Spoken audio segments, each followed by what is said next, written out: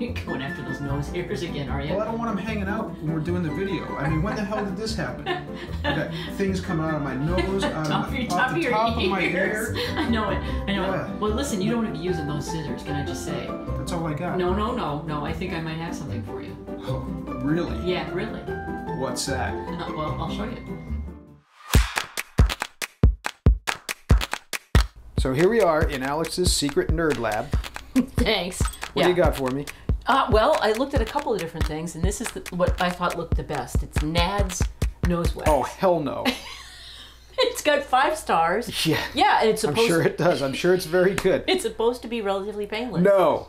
Have you seen those YouTube videos?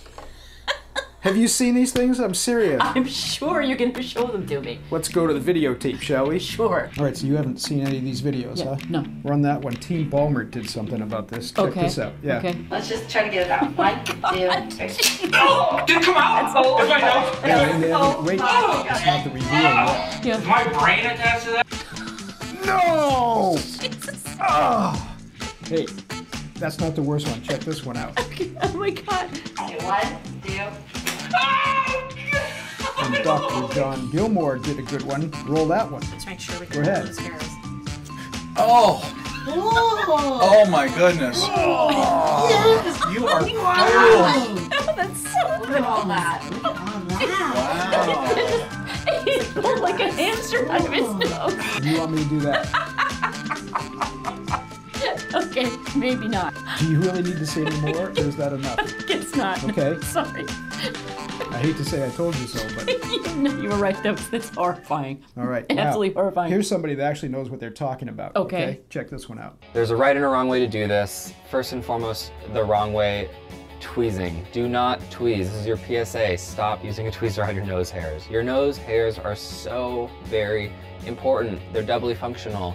First, they stop dust and gross things in the air from being inhaled into your body. Secondly, they stop mucus from coming out of your body. So let's instead talk about the proper way to shorten your nose hairs instead of just removing them altogether. One of the right ways to trim your nose hairs is an automatic trimmer. Okay, so let's summarize.